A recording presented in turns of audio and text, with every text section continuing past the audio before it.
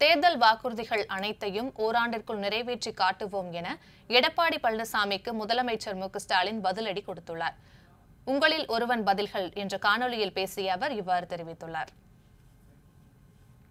தூத்துக்குடியில் போராடணுங்கள துப்பாக்கியால் சுட சொல்லிட்டு டிவியை பார்த்து தான் தெரிஞ்சுக்கிட்டேன்னு போய் சொன்னார் அந்த பழனிசாமியா? அவர் அப்படித்தான் பேசுவார். அழுத்த வாக்குறுதியில் எண்பத்தைந்து விழுக்காடு வாக்குறுதிகளை நிறைவேற்றி காட்டியிருக்கிறோம். சொல்லாத பல திட்டங்களையும் நிறைவேற்றி வரோம். முன்பு சொன்ன புதுமை பெண் திட்டங்கிறது நாங்கள் தேர்தல் வாக்குறுதியில் சொல்லாதது.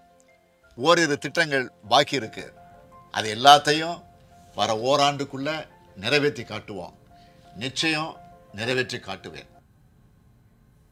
பாஜக ஆட்சி மீதும் பிரதமர் மீதும் வைக்கப்படும் குற்றச்சாட்டுகளுக்கு அவர் பதிலளிக்கவில்லை என முதலமைச்சர் மு ஸ்டாலின் விமர்சித்துள்ளார்.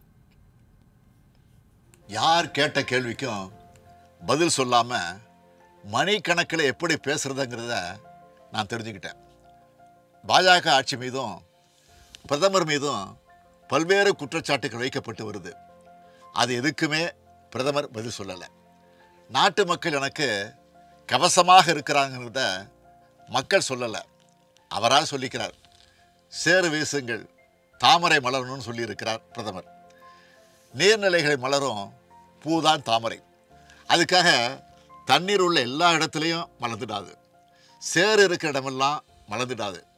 இப்படி வார்த்தை ஜாலங்கள் தான் அவரது உரையில் இருந்துச்சே தவிர பிபிசி ஆவணப்படம் பற்றியோ அதானி விவகாரம் குறித்தோ அவர் விளக்கம் அளிக்கலை. நாட்டுக்கு கொடுத்த வாக்குறுதியில் எதை நிறைவேற்றியிருக்கிறோம்னு பிரதமர் வரிசைப்படுத்தலை.